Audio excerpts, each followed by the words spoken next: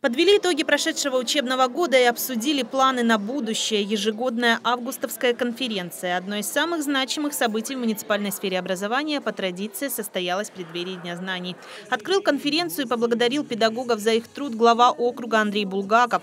Он отметил достижения коллективов и руководства образовательных учреждений. Подбор кадров, желание в коллективах э, развиваться и делать результат, он виден, виден мне, и я хотел бы, чтобы все руководители, которые здесь находятся, сегодня э, на своих э, первых собраниях встречах учреждениях передали от меня добрые слова, всем привет и нацеленность на хорошие результаты по ЕГЭ, Олимпиадам на всех уровнях муниципальной, региональной, федеральной, иные важные достижения прошлом учебном году педагоги округа подготовили 17 ребят, которые сдали ЕГЭ на 100 баллов, а двоим ученикам удалось добиться наивысшей оценки сразу по двум предметам. Это выпускники лицея номер 7 Сергей Кривко и Вероника Масько. Еще один прорыв – результаты участников Всероссийской Олимпиады школьников. Призерами регионального этапа стали 136 учеников щелковских школ, а заключительного – 6 учащихся.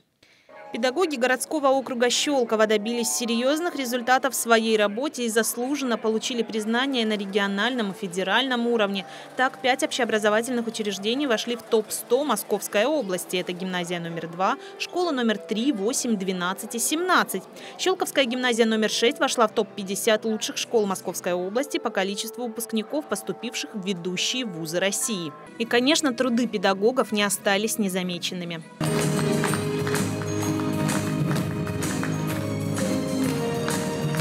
Не только качество образования, но и создание комфортных условий в школе – важная задача. Одно из самых долгожданных образовательных учреждений – корпус лицея номер 7 на улице Шмидта. Больше никакой второй смены в лицее с появлением нового корпуса. Этот серьезный вопрос удалось решить. Также с 1 сентября ученики школ номер 26 и номер 20, расположенные в Краснознаменском, будут учиться в обновленных после капремонта зданиях. А дальше больше. Строительство нового здания школы номер 1 11 имени Титова продолжается. Активно ведется и возведение новой школы на 825 мест в микрорайоне Финский. В этом году началось и строительство долгожданной школы на 550 мест в новом городке. Достижение прошлого учебного периода – стимул для дальнейших результатов. И в новый учебный год педагогическая общественность Щелково смотрит с уверенностью. Анна Бальет, Александр Аржевский, Щелковское телевидение.